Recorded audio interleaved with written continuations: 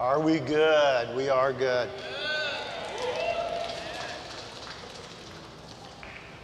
What a blessing it is uh, for me to be here, to have God give me the opportunity to have a friendship with Bishop Santos for 24 years is a gift, which I'm very grateful for. Bishop, we've seen uh, easy things, we've seen hard things. When we first were knitted together, God did it so that we could bring value to each other and bring change. And I am a different man because of you and because of your ministry and because of this church family. I am a better person because of First Baptist Church here.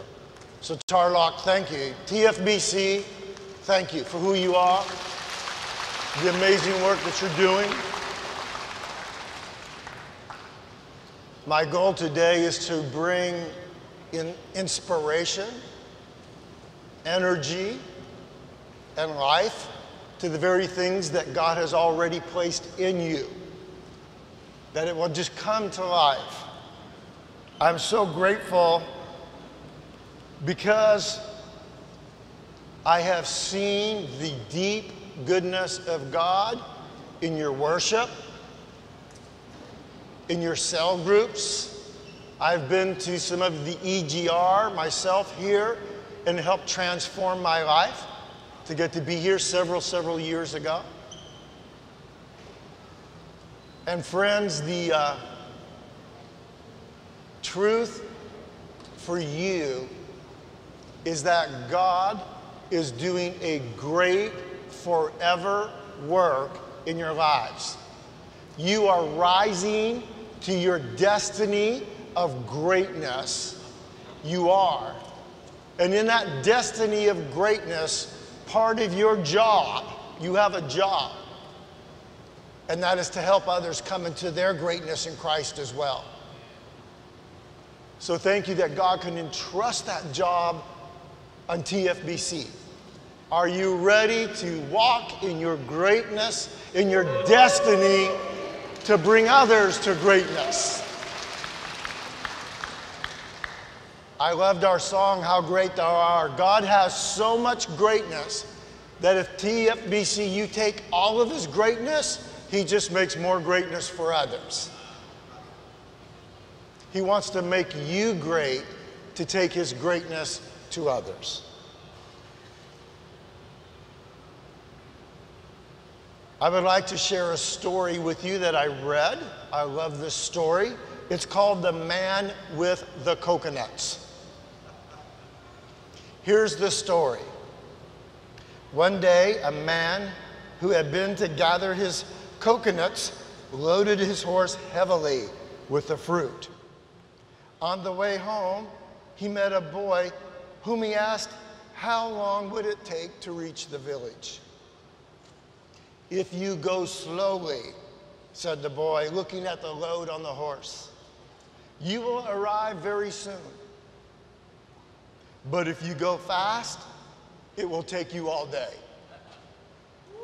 The man could not believe the strange speech, so he hurried his horse. But the coconuts fell off, and he had to stop to pick them up. Then he hurried his horse all the more to make up for the time that he had lost. And of course, the coconuts fell off again. Many times he did this, and it was night when he reached his home. The power of this story is if you slow down, you can speed up. If you slow down, we can speed up. And this is one of the most beautiful things I see in the Filipino culture. You are able to look at one another and to realize what matters most, and you slow down to make sure you are doing what matters most. In the story, the boy looked at the horse and he could see the load was heavy. So he cautioned the man, slow down. I think this same story could be told in the United States, but it would go like this A man had his truck and he saw an Amazon van. He pulled alongside and started to steal all the packages from the van and he put them in his truck. And then he saw a young boy and he said, Is there a shortcut out of here so I will not be caught?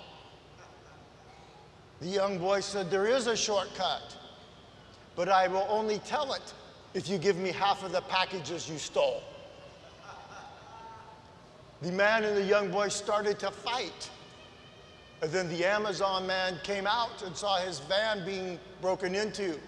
He called the police, but the police said they did not want to come.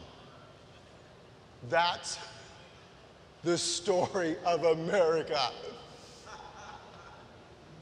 In America, we do not slow down to speed up. In fact, our motto is more like this, and please hear it, because it's unfortunate and we need to be able to receive from the culture of the Philippines. Our motto is get as much as you can, as fast as you can. That is an unhealthy way to live. In some terms, it's called unsustainable. In God's terms, it's called sin. It's toxic. It's poison. It's poison to the community. Bishop, when I come here, I feel like the poison is taken away from me, and I'm refreshed by the Filipino culture that knows how to love and honor and slow down and do what matters most. And friends, I recognize that this day that who you are is great. And may your greatness continue to make a difference all over the world. That's why friends from South Africa and Singapore and other areas are here. It's not because we want to speak to you, it's because we want to learn from you.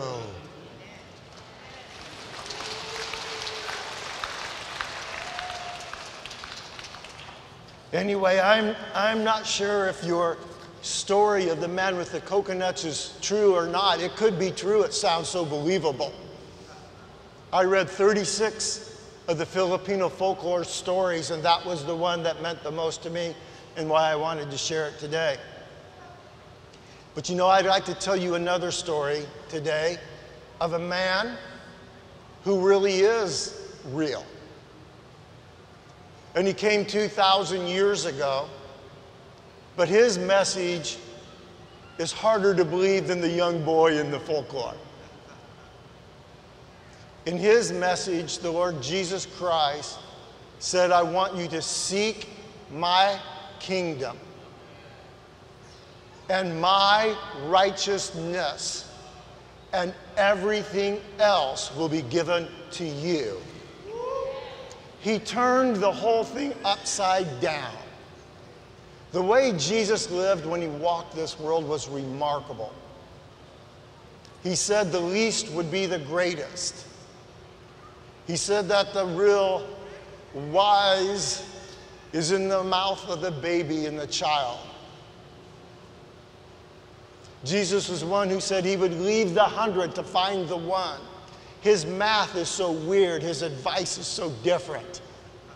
To understand Jesus, sometimes we have to take the way we see life and turn it upside down. And maybe, just maybe today, he will turn our lives upside down. Maybe today, just today, He will give us ears to hear and a heart to receive the amazing kingdom of God that's so different than what we see in our own world. And I ask Him to do that. Will you pray with me now? Father God, give us eyes to see, give us ears to hear, give us a heart to know your heart. Lord, we open ourselves to you. We put aside those things that compete, that make a contest against you and your kingdom. And it is the desire of our heart today to say to you, Yes, Lord. All right, are we ready to slow down, to speed up? If we are, there's three things that we will do. Number one is that we'll have to understand there is nothing, nothing more important than to seek God. Number two, seeking God will cost us something. And number three, eternal life gives us, each of us, access to the very throne of God now. And to that I say, wow.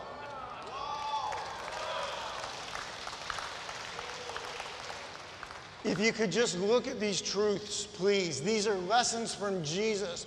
For some of us, they may seem like they're nonsense to like the man to the young boy. What, what speech do you speak, boy? But to Jesus, these are the words of life. These are the truths that we must align our lives to today. If we want everything to fall into place, we must receive these three truths from Jesus. All right, let's look at them. Number one, there is nothing more important than to seek his kingdom. And friends, really, his kingdom is him. Wherever God is, there is his kingdom. It's really seeking his presence. Sometimes I hear people say, I just want to go home to heaven. Why? Heaven's in you. Access heaven now. Why are you waiting? Don't be lazy. Don't be confused. I know it's crazy. I know it's like, oh, I have to hurry to get there. No, slow down and understand that we can access His kingdom now. When we seek Him, he will be found. He loves to be found. He is the pearl of great cost. He is waiting to be discovered. His kingdom can be difficult to see because it's so different than the kingdom of man. The kingdom of man said, says, I must try to find things to give me purpose. I must try to create things to give me power. God gives his power away to those who seek him. And when we put these things in order, God says, I've set it up to where everything else falls into place. What's confusing to me, my friends, is that sometimes I'm not seeing God's kingdom in my life. Is that the way for you sometimes too? Sometimes it's hard to see how God's moving in our kingdom. A friend of mine who was a prophet, Alan Smith, he's a dairy farmer from North Carolina, and he speaks with a southern accent, but he hears from God. And when he shares things, they're often very deep and right. He reminds me of Joshua Santos. He's very deep. He listens, he listens, and he listens some more. And then when he speaks, at first I think, what did he just say? Because it's so deep. And then it lands and everything's different. And this is what he said to me. He said, Sometimes God moves so fast you can't see him. He said it's like a race car flying through, and you have to have the camera slow down just to see it. What color is the car? Show that again. No, it's white and orange and blue. You will see it in slow motion. Sometimes God moves so fast, it's hard to see Him and to see what He's doing. Therefore, we must slow down to speed up. He is moving. Maybe he's just moving very fast, but he's moving. Sometimes, this prophet said, he's moving so slow we can't see him. And it's like time elapsed photography. where there's a flower and you know the flower is alive and growing, but you can't see it because it's growing so slow. But he's moving. He's moving. T, F, B, C. He is moving in your midst. This is how he moves through the bishop.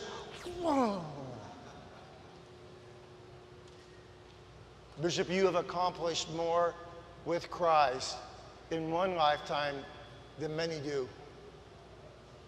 And I honor you. I honor you that when God says speed up and step out in faith, that you do. I honor you for that.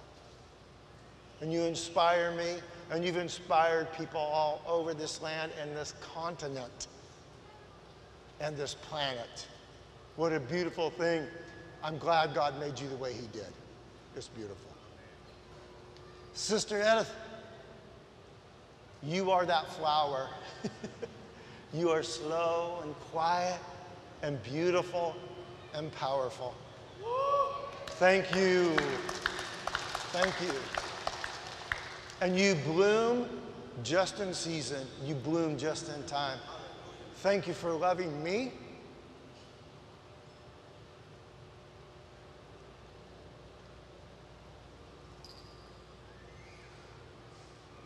Thank you for loving my daughter.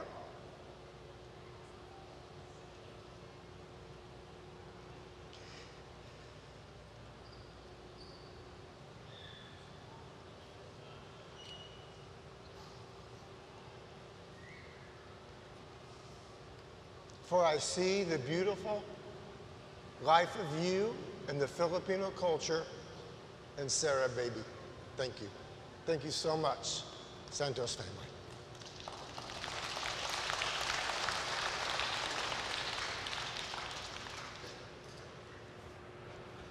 And now I can't see my notes. I'm not crying, it's just very hot and my eyes are sweating. That's all that is. Ah. Friends, we must slow down to see what matters most in life. We must slow down to see what matters most in life. I say it this way God's kingdom. Oh, thank you. God's kingdom is from everlasting to everlasting. Of course, it's hard to see. Of course, it's hard to see. God has always been and always will be. God Himself, when He breathes, eternity comes out. Everything He has made has His eternal fingerprint in it. We are part of the DNA of God in the very way He made us. Therefore, eternity is even in our hearts, calling us to know the heart of the Father. That's the way He's done it. That's the power of knowing that everlasting from everlasting is our Father. And He is allowing us to understand the difference between what matters most, what has eternal value, and what is just stuff. I say it like this if it does not have eternal value, then why would we pick it up? If it does not have eternal value, then why should we even pick it up? Number two, these are the ABCs of being able to make sure that we seek his kingdom. A, it's from everlasting to everlasting. B, my friends, his kingdom is love. He is love, His kingdom is love. His kingdom will always have a residue of love in it. That's how we know. It's interesting, people have once told me that when you read the Old Testament, it is the book of wrath of God, the law of God, the anger of God. And when you read the New Testament, it is the book of the love of God. That is not true. The Old Testament, too, is the book of love. If you don't believe me, a month ago I decided to read whenever God said in only the Old Testament that his loving kindness is everlasting.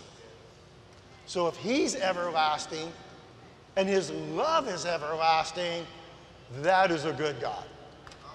How many times in the Old Testament alone does God himself say that his love is everlasting? 50 times. 50 times. The year of Jubilee times. 50. There's many other times where he talks of the love of God. Friends, God's loving kindness, chesed, is also everlasting. So when you experience the kingdom of God, we will see the love of God. And when we walk in the love of God, it will have a forever impact.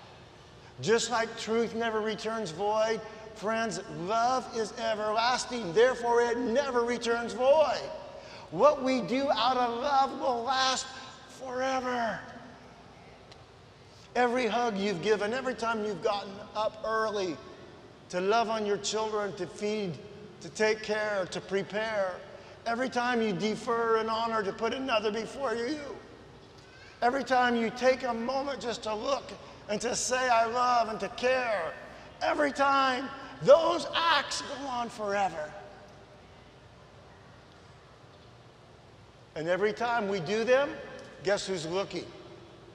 He slows down to speed us up. He sees, he watches, he knows. I'm so thankful. His love has no conditions. That's what it means. He has unconditional love. He doesn't love us because of the way we behave. He loves us so that we will behave differently.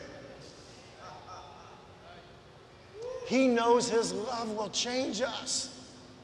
He knows His love will penetrate our heart at the deepest place. I am so glad that He says of Himself, God is love. I'm so glad He doesn't say, God is angry unless you love me right. We must flip things. Fathers, we must flip things. We must begin in love and end in love. We must give a gentle response in love. If there's a condition on our love, people are smart and they will see right through it. So, in other words, if we say, I want to bless you so that you can bless me, that's a condition. If we say, I want to spend time with you to get something from you, that's a condition. If we say, I want to help you so that later on you can help me, that's a condition. God says that's human love. That's how humans do it. In His love, He says no conditions, unconditions. And so I say it like this if there's conditions in the way people love you, don't pick it up. Don't get entangled by it. Don't let it tangle you up because it will only snare you. Love that has conditions is a trap, it's a human trap.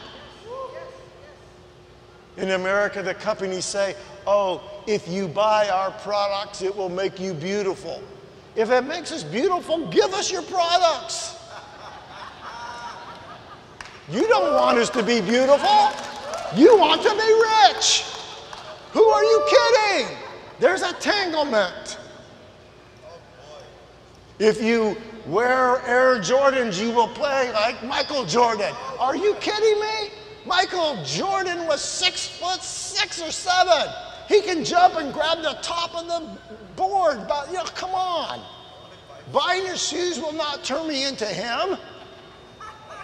But could you, if he really cares about me, maybe he'll just take a selfie with me. That would be good. If there's a condition, it's not unconditional love. Pure love from the Father has no conditions. Number three, if you really want to seek his kingdom, you have to understand. Remember, number one, it's everlasting and it's eternal. Don't look for it in human forms. Number two, or human places. Number two, his kingdom will have that eternal love, everlasting love. And number three is that his kingdom will come alive in love. It's just not with love, it comes alive in love. And what I mean by this is that when he is imparting something to us, we don't know, we don't just know that he loves us. We also know it will change us. It will change us.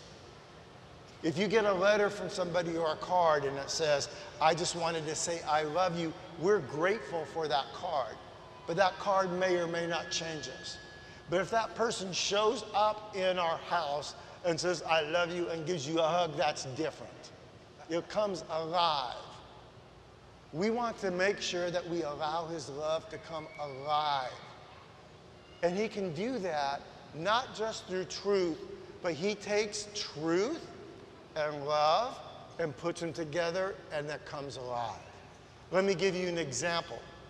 In Scripture, in Psalm 85, verse 10, it says this loving kindness and righteousness have come together.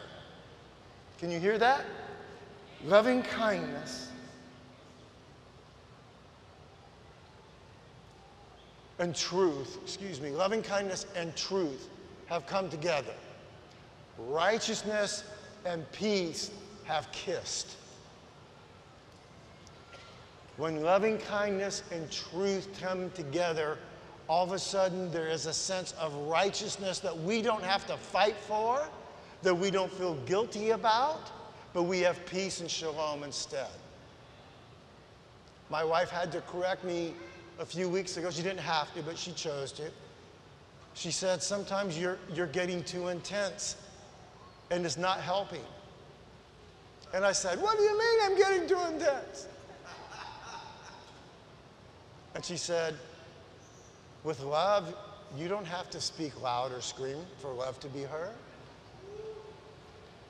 People know love and truth when they hear it. They know. And it will come to life. You don't have to scream to make it real or alive. I was so grateful. And I want to say to you, uh, now I'm speaking to young persons. If there's a person who comes to you and they want to share truth with you in love, let that come together. Listen to what they say. They're not trying to hurt you, they're trying to help you. Let them help you. And you will see that maybe you want to be right, you don't want to be wrong. You will fight with righteousness. Let righteousness fall aside. Let righteousness and peace kiss. Let your peace be in the fact that you have heard what they said, that you have honored what they said. It's such an important thing for us to get to do. And so when we do those things, God's kingdom prevails. However, point number two God's kingdom will cost you something. God's kingdom is free to everybody, but it's not cheap. Friends, God's kingdom is free, but it came at the highest of all costs. God gave his very life in Jesus Christ to die for us out of his love for us. His love was so great that he laid down his own life. It cost him everything. And yet he does not say, I will now sell it to those who behave the way I want. He doesn't say, I'm going to use the life of Christ with conditions so that I can get followers. He says, Look at the life of my son. Can anyone see love? If you can see love in that, then you will be made right. And until you see love in what I've done for you in Christ, nothing will make us right. Friends, I have a doctorate degree in leadership and ministry. I've studied almost every religion in the world. And every religion does not understand what I just said except Christianity, the true Christianity. There are re- religions that say there is a yin and that there's a yang, and evil and good must work out things together. They balance each other. No, they don't balance each other. Good overcomes evil every time because love is better than, than evil. Come on. There is no balance. We're to forsake evil to be able to walk in good. Evil comes at a cost, and Jesus paid it. There are religions that say, oh, you may not be able to figure it out, so you can be reincarnated and given another chance to try to figure it out, or even worse, work it out. Jesus doesn't want you to work it out. He already died so that we don't have to. How, it doesn't matter how many times we go backwards, we can't undo the things we've done. You can go backwards a million times, but it's still been done. In Jesus' kingdom, He forgives us instead. He forgives us instead. And then it's done.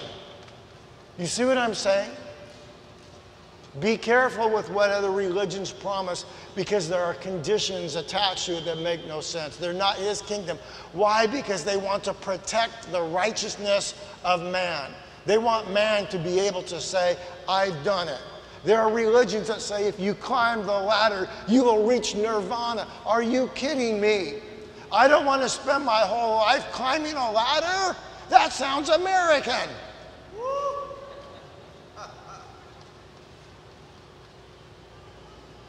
Jesus came down the ladder, friends. He came down the ladder and he said, Can you just receive from me my love and acceptance? Can you lay down your pride, your hurts, your pains? Can you put them aside, your own righteousness, and receive mine?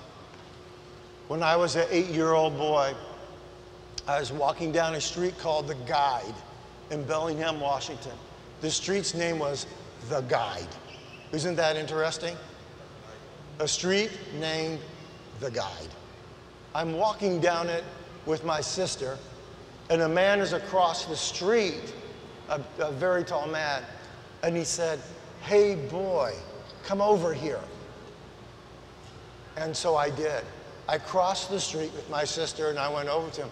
And as I got close to him, the very tall man got down on his knee and he looked at me in the eye and he said, Do you believe that God loves you? Nobody had ever asked me that question before. And I thought about it. And I said, Yes. And then I realized I just said I believe in God. I, had, I never even was given an opportunity to think on God hardly. I said, Yes, I do believe that He loves me. And then the man said, May I ask you another question? Do you believe He would forgive you for anything you've ever done wrong? And I thought about it and I said, Yes, if he loves me, he would forgive me. And it made sense to me. It made perfect sense that God Himself, being great, would give His love away freely to a young boy who needed it. And then He said one more thing. And He said, And do you want Him to come live right here? And He touched me in my heart. And I said, Yes, I do. And I asked him right there on the street corner of the Guide with my sister standing at my side. I said, Lord Jesus, thank you for loving me, forgive me, and please come live in my heart. My life got completely changed as an eight year old goofy kid. And now when I go through this world, I look for eight year old boys, not evil, but to make sure they understand there's hope and good and love and joy. Yesterday we stopped to get gas. And a little, eight, little boy, he looked like he's about eight year old, knocked on the window and he had a sign and it was in Tagalog. On his forehead, he was asking for something. And Bishop was out doing with the gas. And I said, Lord, I see myself right there. I see me when I'm eight years old. And so I pulled in my wallet and I gave him a blue Filipino one, the thousand, I don't, I think it was a, th- it's the blue one. And I folded it up and I gave it to him and I said to him, This is for you, for you. And the, and the boy, he was smart. He looked at me and he looked around and he went away very quickly. I live to give hope. I live to give hope and truth and to change things in people's lives. Why? Because God's love is so great towards me. Why would I not want to give it away? That's what we do with His love. All right. So if you want to be able to lay down our righteousness, there's three things that you do. It's very simple. It goes like this. Number one, no longer take confidence in our self trust. Self trust is what can I do to make self look good? We are to put no confidence in the flesh. So we lay that aside. Sometimes we look in the mirror and we think we are greater than we are. We are not the lion, we are the kitty cat. But when we look, we think we're great. I know who I am. I am a baby kitten. Actually, friends, I am a Filipino dog. That's who I am. Yes. Yeah. I, I am scrappy. I run around. I'm happy. I do whatever I can with whatever is given to me. That's who I've always been. And when I first saw the Filipino dog, I said, now that's my spirit animal right there a happy, crazy, running around, free Filipino dog. But this little cat, when we look at ourselves, we must be honest with ourselves. We will never walk into greatness on our own. In fact, even every human that's come into greatness, somebody has helped them in that walk. If things hadn't been fallen into place, if health would not have come, if you would not have been born where you were born, if you were not given those opportunities, those things would not have propelled you. But the joy of it is, is that the Lord God will give us the opportunities and He will propel us, but we must trust Him. Why do we not trust God sometimes? Why do we not put our self trust down? It is because of number two problem mistrust. Mistrust comes because other people have hurt us. Go to the next one mistrust. When trust is broken, there is a gap. And in that gap can come mistrust. And it can be and it can fill us with fear or reservations unwillingness to trust again. And what I suggest to us this very day, that yes, there are people who may have harmed us or hurt us. For some of us, even our, our dreams are dashed.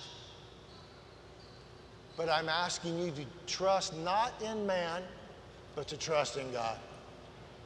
Allow Him, because you know what He loves to do? He loves to heal those of us who are broken. He takes our brokenness and makes us beautiful. That's who He is, that's what He does. And so do not hide self trust so that nobody sees your brokenness. Tell the truth about our brokenness. Step out of mistrust and allow God to have your trust. And when we do that, that's what it's costing us. That's not that much. I can't do it on myself. Goodbye, self trust. Mistrust, I'm nervous to trust God again. Step out and trust Him. That's what it'll cost you. And the third thing is that at some point, this is what it'll ultimately cost you. If you want to move forward in God's kingdom, you will need to make a choice. It's not just going to happen because you think about it or that you want it. At some point in our lives, we must make a choice the cost of being made alive in Christ is for you and I to choose Christ, to lay down our lives and to pick up His. Just lay it down and pick His up. So I'm asking you today to consider the power of being able to lay it down. He will pick us up when we do. As a young child, my father died at age 14. And I wept in the evenings out of loneliness and hurt.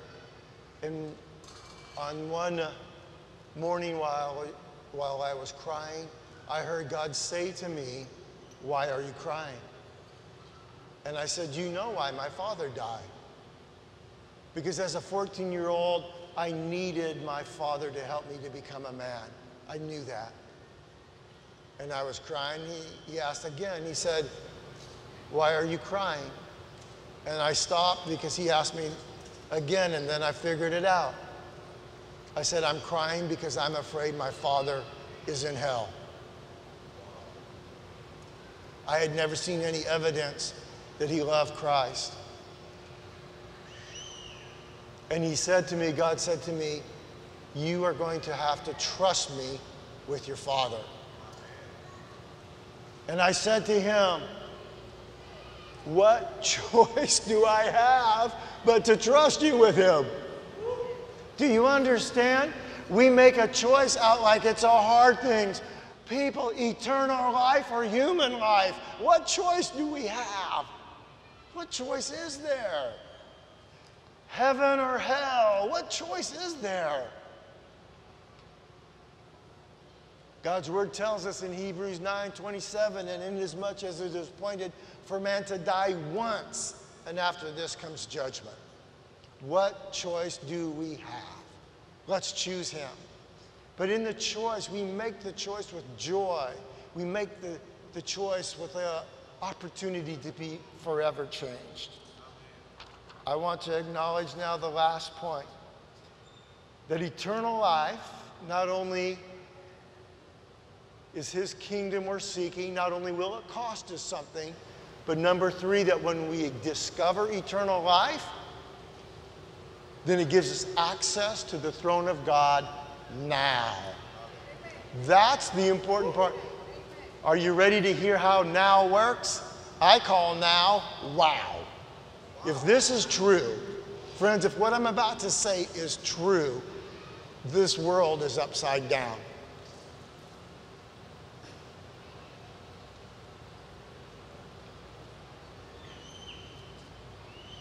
As a young child, I didn't want to do everything my father would say. And so I'd say, Why? Why? Why? Why do I have to do that? Why do I have to do that? And then he would get tired of it because with seven children, that's a lot of whys, right? And so he would end up just saying, Because I said so. Have you ever heard that, any children? Why, Dad? Why, Dad? Because I said so. And so we would do it. What I want you to understand now is there's a great because. This is what I now call the great because. Eternal life gives us access to God and His forever kingdom now because of these things. Number one, because God is good. He's good. He can share now. God doesn't know how not to be good because good is in Him. And good always wins in God's forever kingdom. God is good. Number two, because he throws away our self righteousness into the sea of forgetfulness. He throws our sin as far as away as the east is from the west. That's why, because of that, he has made us new. Because he ever lives to intercede and to pray for us. This is God's word. Why? Because He is praying for us right now. Why? Because no one can snatch us from the Father's hand according to Jesus. Why should we trust Him? Why should we walk in His forever kingdom? Because we have been given access. To the very throne of God. And there's one more reason because God says so. because God says so. You can trust me, you can access. Ephesians 2 18 and 19. For through Christ we have our access in one spirit to the Father. So then we are no longer strangers and aliens, but we are fellow citizens with the saints and are God's household. Access. Ephesians 3 11 and 12, the word goes on and says, This was in, was in accordance with the eternal purposes which he carried out in Christ Jesus our Lord, in whom we have boldness and confident access through faith in him. And this all goes back to the Lord Jesus when he said to his 12 disciples, and by the way, we know how he got his disciples, right? He's just walking along the road and he sees them. He's just fishing, he sees them. And he says, I want you come and do what matters most. And they chose him. And then he said, I want to show you how the kingdom really works. And then he taught them Matthew 6 33. He said, But seek first God's kingdom and his righteousness, and everything else will be added unto you, right? Jesus then went on and said, I want to teach you how to pray. Do you remember the Lord's model prayer? Our Father, he calls God Father. Our Father who art in heaven, hallowed be thy name. Come now, kingdom of God on earth as it is in heaven. It's an imperative command form. It's not, oh, may God's kingdom come sometime. It's come now, kingdom of God on earth as it is in heaven. Because God wanted heaven to collide with earth so that, so that earth would see what heaven really looks like. He knows when earth and heaven collide, heaven wins every time. And he said, so pray it. And so what he's done now is he said, I've prayed it, will you? I'm giving you access to the very throne of God. Will you be bold? Will you be confident? Will you go to the throne of God in heaven where you are seated with me in the heavenly places and receive from me that which is eternal, that which is love, that which comes alive when you take it to planet crazy? Can I give you this to take? And if you will, everything will be different. That's how it works. And then the beauty of it, and we know, he says, and when you do that, oh, by the way, and everything else will be added to it as well. Everything else will fall into place. So in America, this is what we do. I'm going to go after everything else and hope God's kingdom, right? Filipinos, I hope that if you uh, do come to America, that you bring your culture, that you bring your way of life, and that you get out alive. I hope that you are able to impart greatness because you, you have greatness in you. It's your destiny. But don't, don't try to escape. We have no need to escape. Instead, would you slow down and get some of that from heaven and bring it to your life right now and allow God to use it however He wants. Don't seek to live the American dream, seek His forever kingdom. Break into heaven.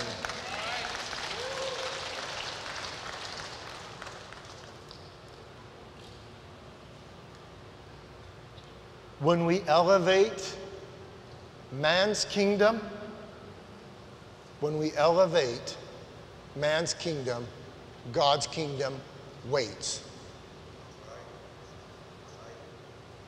If we elevate man's kingdom, God's kingdom waits. When we elevate God, everything falls into place.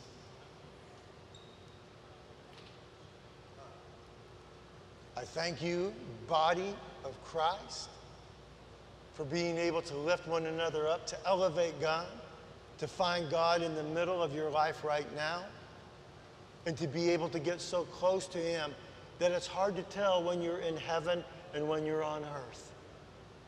May you live that way. I'd like to respond to some of those in my American family now. And fellow Americans in my own family, we hold back choosing sometimes, choosing God. We've heard so much. We've seen, we've seen so many things that call themselves Christian and are not. And our hearts have grown calloused, and our ears are tired of hearing how many more podcasts can we listen to, Americans? But today, may God touch our ears, may God touch our hearts, and may we choose Him. Choose Him. Let it cost us something. Put down our self righteousness, our need to be right, our need to be first. Put it down put down self righteousness, pick up Jesus' righteousness. That's the exchange he's looking for. And I'm asking you, whether you're Filipino, American, I'm asking you this day do you believe God loves you? Do you believe God loves you? What are you going to do with it? Do you believe God would forgive you because he loves you? then let's ask Him to forgive us. And now, the very last, very simple thing do you want to choose Him to live here? If you haven't, I'm just saying, hey, Lord God, thank you for loving me, for forgiving me. There's no other God like you, no other God. And regardless of what I've seen or where I've been, or I'm asking you just to come and live in my heart and make me new. In Jesus' name, amen. Thank you. Ladies and gentlemen, let's welcome Pastora Pauline Pua from Singapore. Huh? Shalom. Greeting in the name of Jesus, our Lord and our Savior. Hallelujah. I slow down to speed up. Karabashigara. Let's just raise up our hands to the Lord. Oh.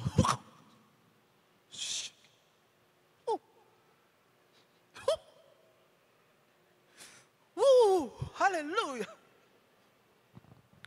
Shine, Jesus, shine.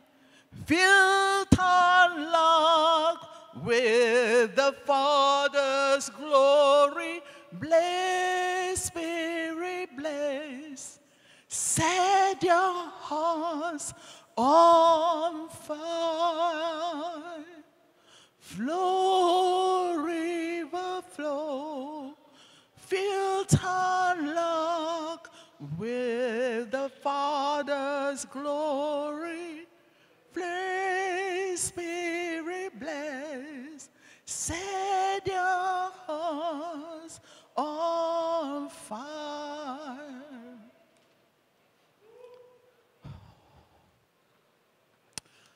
This morning, as I was in bishop office, and I saw the vision of an open heaven,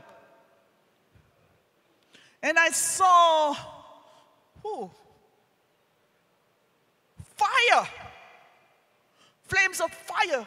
And it's like petrol, petrol. When you pour petrol on fire, it is set ablaze. And this is what I'm declaring to you this morning. The Lord is saying, This shine, arise, shine. For the light has come in this place. And He's saying to you, Step out of your boat, step out of your comfort zone, step up from where you are, and step up we thank God for the word that's given to this morning. It is like the Spirit of God has His word to say. Keep this, the message and the prophetic word that is given to you this morning. It says slow down. This morning, as I was preparing to get ready by 8.15, that is the time they told me Bishop Frank is going to pick us up. But by 8.10, I received a call that, come down, he's already here. And then I said, I thought it's 8.15. I keep my time. So, you know what happened? As I was rushing, because I cannot get let Bishop Frank wake, wait for us. And as I was rushing, the Spirit of the Lord slowed me down. So, what is the Lord saying? As He has given you the task, as He has given you the things to do to accomplish in His kingdom, you need to slow down in the presence of God.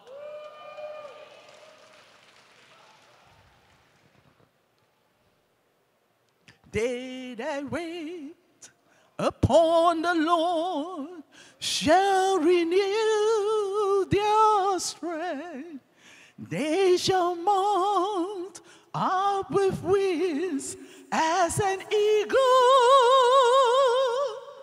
They shall run and not be weary. They shall walk and not faint. Teach me, Lord, teach me, Lord, to wait. As this is the season for you to bring in the harvest of soul. And as Apostle Jackie prophesied this morning, that this place is not enough. There's going to be an explosion in this place. And I say, there's going to be an explosion in this place. I say, I declare, and I declare, I declare there's going to be an explosion in this place. But unless you learn to wait upon the Lord, you will not be able to run. That was a very good illustration just now. You will be weary. But if you wait upon the Lord, you shall mount up with wings as an eagle. The eagle is the king in the sky. Not even the storms. He's not afraid of the storm. The eagle has the vision. When he see the storms coming, he did not run. He did not flee from the storm, but he uses the storm to cause him to soar higher. Hallelujah! Oh, this is the time to say hallelujah. Wait upon the Lord. Slow down to wait upon the Lord. So I slow down and I say, This is my prayer before I go out. Order my steps, order my mouth, order everything about me.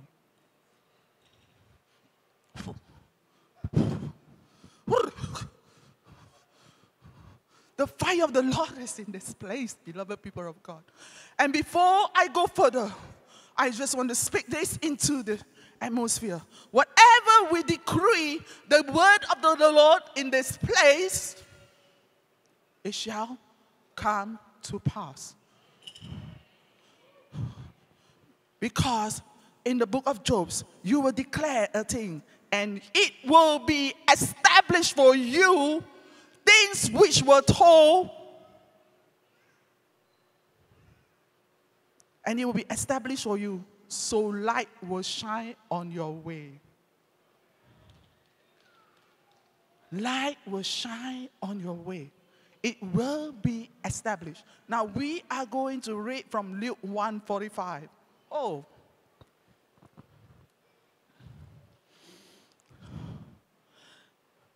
Blessed is she who believes, for there will be a fulfillment of those things which were told to TFBC from the Lord.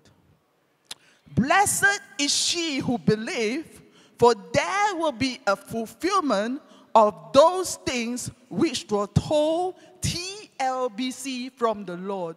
This word was given to Mary when she conceived Jesus in her womb. And beloved, as last night I was praying, I felt that I was going to give birth. I was praying for this church. I felt I'm going to give birth and it's going to be delivered anymore, my beloved people of God. Arise and wake up.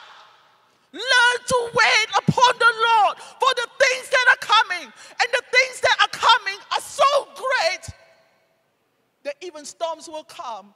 But you will be able to stand if you slow down to wait upon the Lord. Many are rushing, rushing, rushing, rushing, rushing. Rushing, rushing, rushing, rushing, rushing. We are not Russians. You are Filipinos. I'm also part of Filipino. I'm also part of Filipino. My sister-in-law is a Filipino. And I was pastoring and heading the Filipino fellowship. And on my 50th birthday, the Lord said to give three tables to the Filipinos. You have a very special place in the heart of God, beloved. And what the Lord has bestowed on you is not for you to just sit down and do nothing. But the Lord is saying, Arise and shine, for the light has come. Let your light so shine before men that they will see the good works and glorify the Father. Glorify the Father. Fill this land with the Father's glory. Spirit blaze, set our hearts on fire. Bishop friends, fire there. Bishop, please. There's a tool tape there.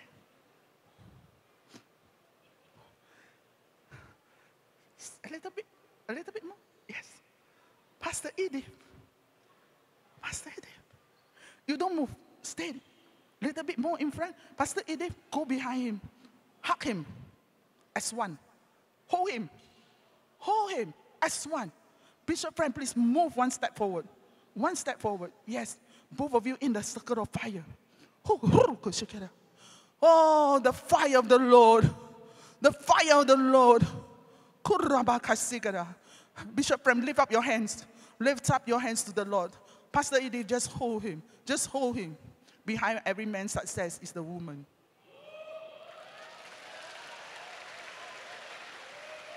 You need her.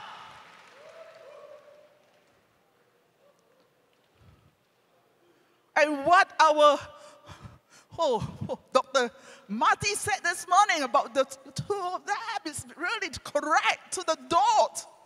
She's a powerful woman, quiet but powerful. Hallelujah. I don't Father, the fire of the Lord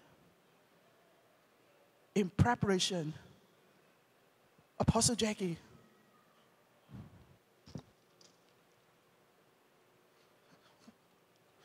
The oil.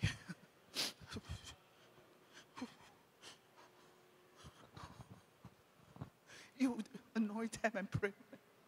Oh.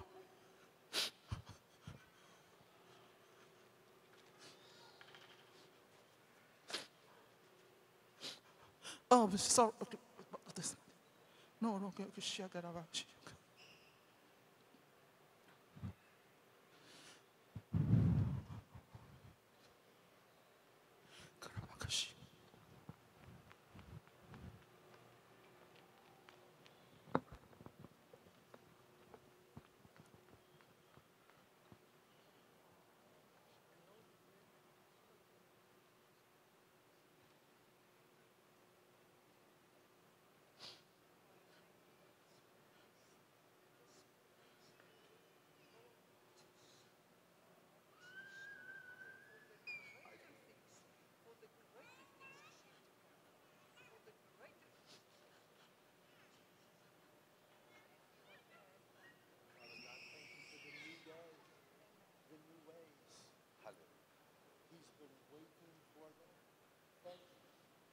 okay,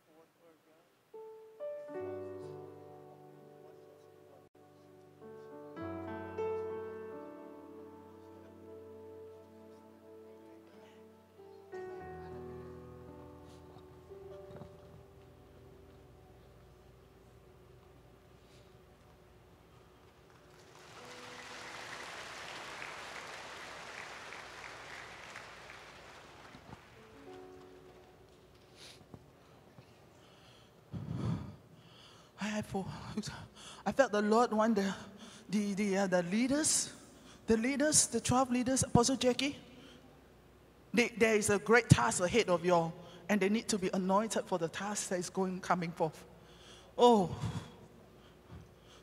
the leaders, uh, Bishop Frank, the, your, your, your 12 tribes, the 12 tribes leaders, is it?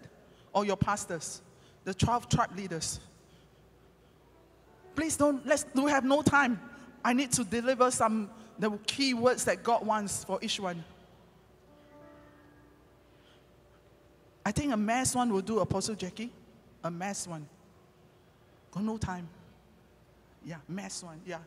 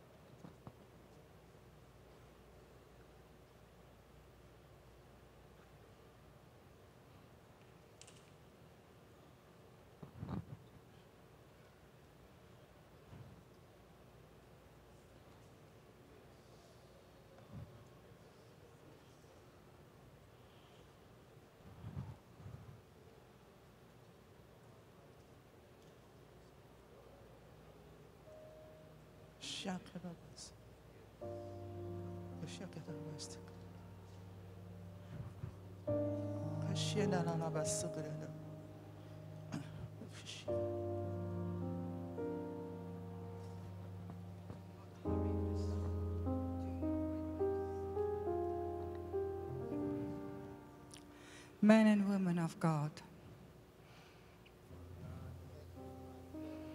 I want this congregation to please be so kind and stand up on their feet, please. Please stand up on your feet. Please stand up on your feet. And I want these leaders to stand in one straight row here. Just stand in one straight row.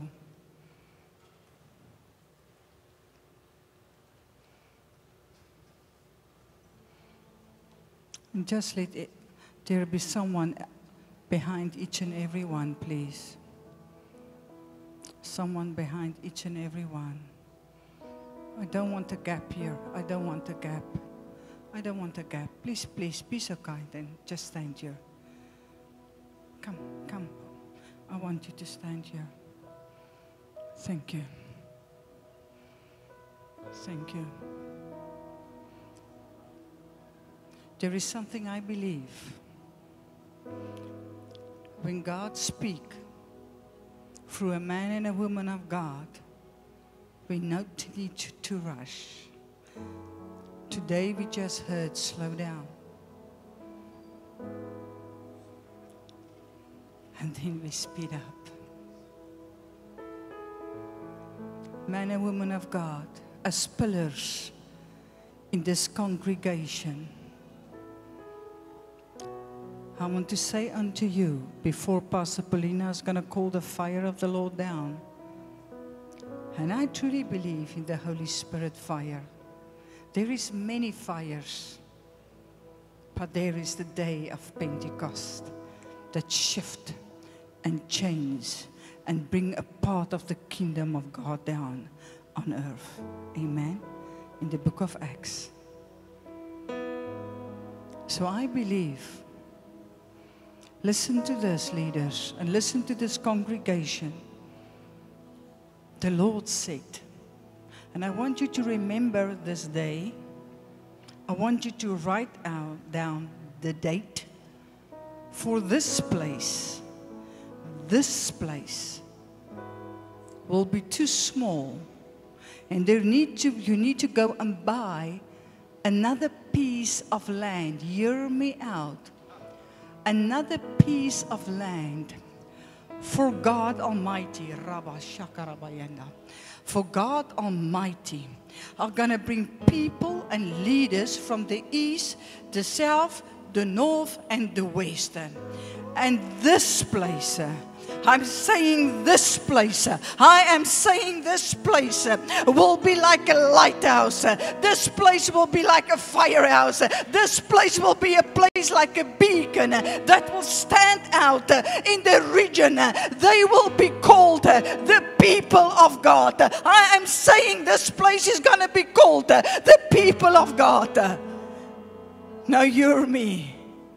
There is no coincidence uh, that South Africa, Singapore, and America is in this building today. I don't believe in coincidences, man and woman of God.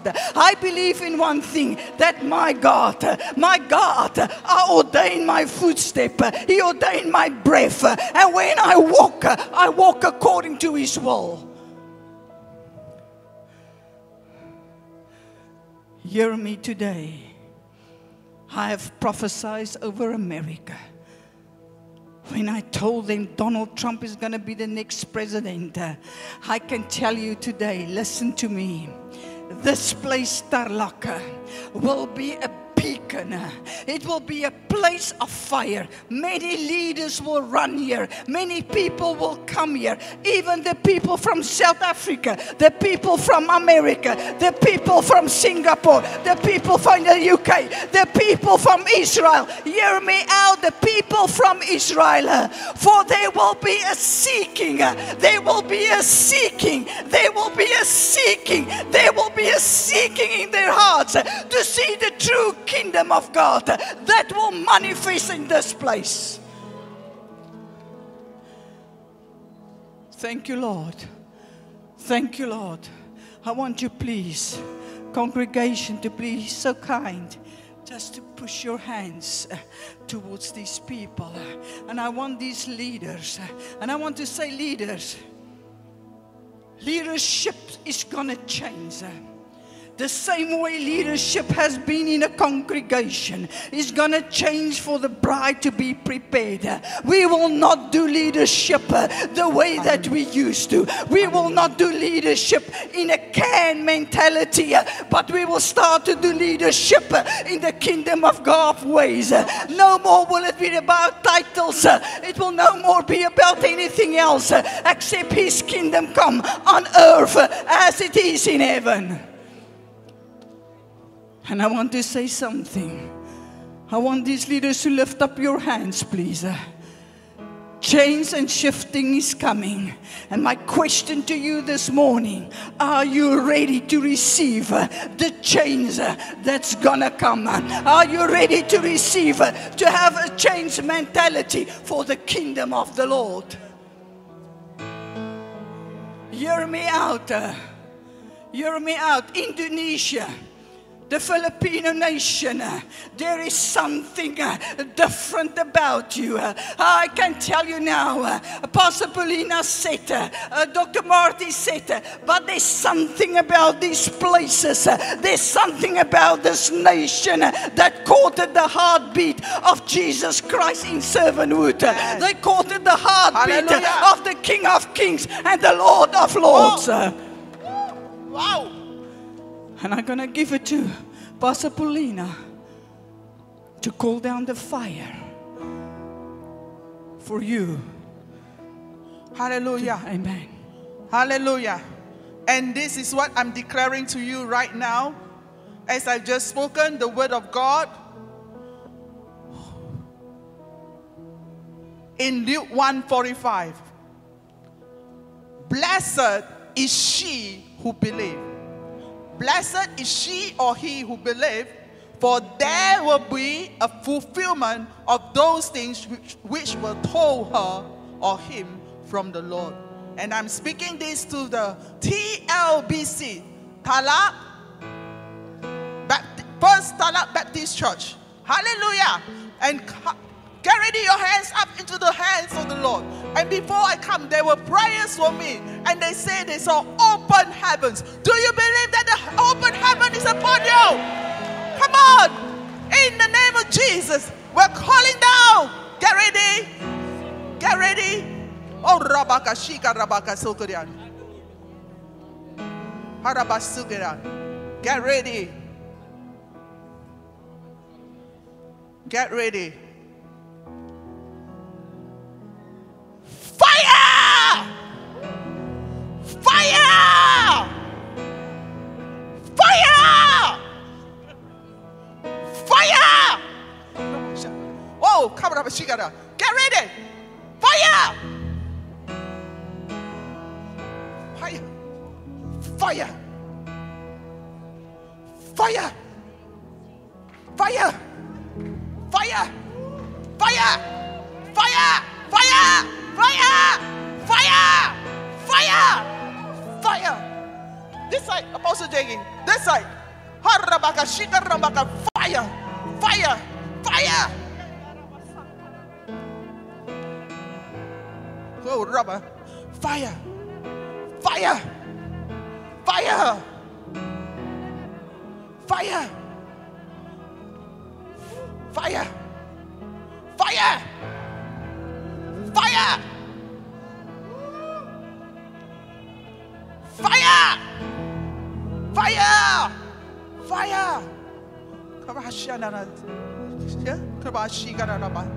Oh, Rabaka Shika Rabaka Sakarianda Karia Karo Koshikana. Fire. Oh. Karabaka Sigaraba Sakara.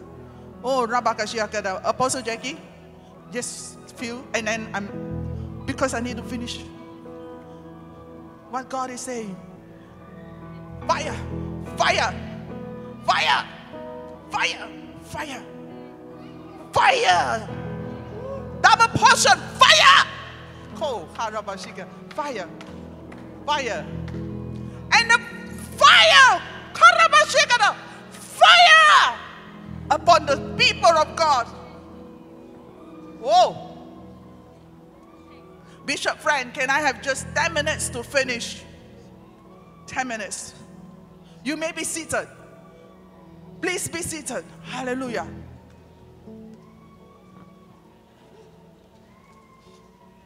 Let your light shine.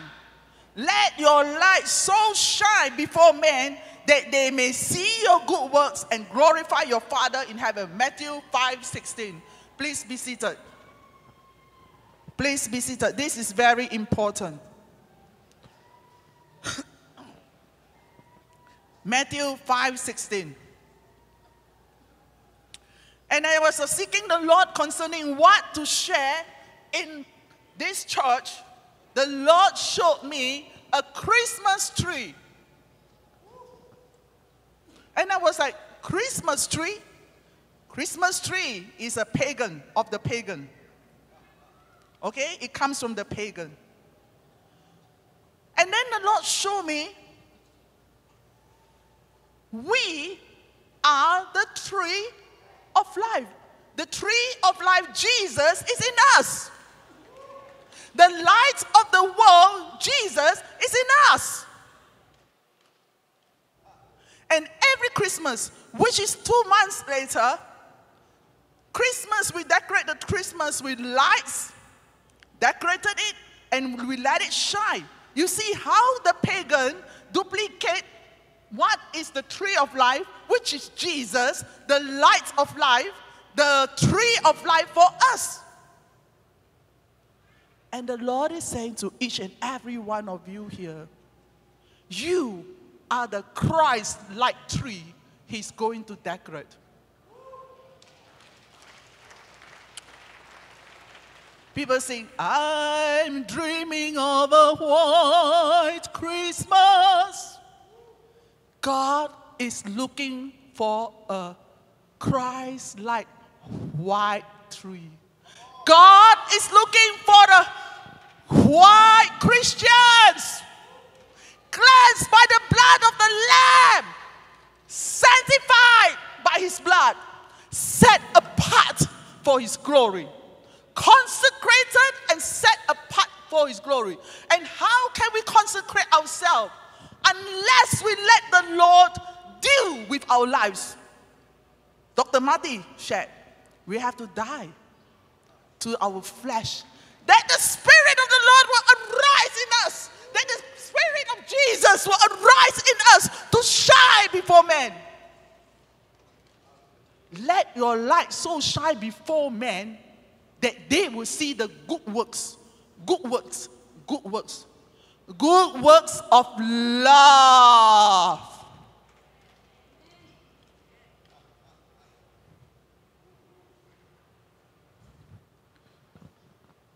The Bible says, be excellent in what is good, be innocent of evil. This is the time. If you want the Lord to shine through your life, you will have to let Him shine through you through good works. Even to your enemies, what the Bible says love your enemy as you love yourself. You have the Lord shine. You have to let the Lord shine through you.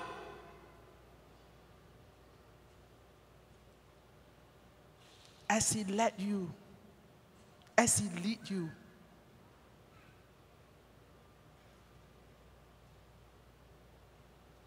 God wants to shine through each and every one of us here. If only, if only, if only you can lay down your flesh. Whatever that is not of the Lord, cut it off. Break the chains, break the shackles. And that is the fire, what the fire is doing, refining fire. Sometimes, some of you here, you do not understand why the things are going the way it is. It's because of your calling, says the Lord. He told me there are hearts here that they do not understand why they are going through many of the circumstances and situations. And He said to tell them, because of their calling. Naomi went through so much and she said, Call me bitter. But she didn't know the plans of God ahead for her as she goes back to Bethlehem. Return back to the Lord your God. It is still not too late, says the Lord. Return unto me and allow me to do the work in your lives. Time is at hand, says the Lord. And as Christmas is around the corner, First Tarlac Baptist Church will need to arise as the tree of life, the Christ like tree, like Christ, the Christ life tree, the life of Christ, to shine in the land of Philippines. Hello. Hello. And it's the now, now, the wow, wow. Today, today, whoever you are, God is looking for that heart that is making a turn back to Him. Whatever is your background, and God is showing me, just like Esther girl, she was an orphan, she was a prisoner, she is a captive, but she made her way to the king's palace. Make your way to the king's palace. He that dwelleth in the secret place of the Most High shall abide. Go back to the secret place. The King of Kings lives in his palace. The palace above all palace. That should be your secret place. And when you go back to the secret place, you will soar like an eagle. You will not run, but you will soar. The king's bird, the kingly bird. Beloved, excel in what is good. Many parents ask their children to excel in their studies. But the Lord is telling you to excel in what is good. And as you excel in what is good, he said, Be excellent in what is good, and the God of peace will crush Satan underneath your feet. Come on, everybody rise up. Rise up. Crush your enemies under your feet. I will excel in what is good. Say, I will excel in what is good. I will shine for the Lord. This Christmas, I will shine like the Christ light and the Christ life tree for the Lord. Hallelujah. God wants to shine in the city of Tarlac. God wants to shine in this church. He can only shine through your good works. Then they will glorify God. And I will end with this as I see the vision of King Solomon as he dedicated the temple. He prayed and dedicated the temple. The fire of the Lord came. And the glory of the Lord filled the house. It was so thick. And I speak this into First Tarlac Baptist Church. I declare this into First Tarlac Baptist Church. Shine, shine, shine for the Lord. Remember the Christmas tree. And as you shine, it will be every badge, every good deed you do for someone, everything that is good, because no one is good except God. And as you do anything that is good, good, G O D, get at an O, it become good. Good is of God. If you do evil, E V I L, you add a D, is devil. So remember, the choice is yours, good or evil. If you do good, it's of God, because no one is good except God. If you do evil, it's of the devil. So the choice is yours how much you want your tree of life, the tree of life in you, to shine through you, which is Jesus. Hallelujah.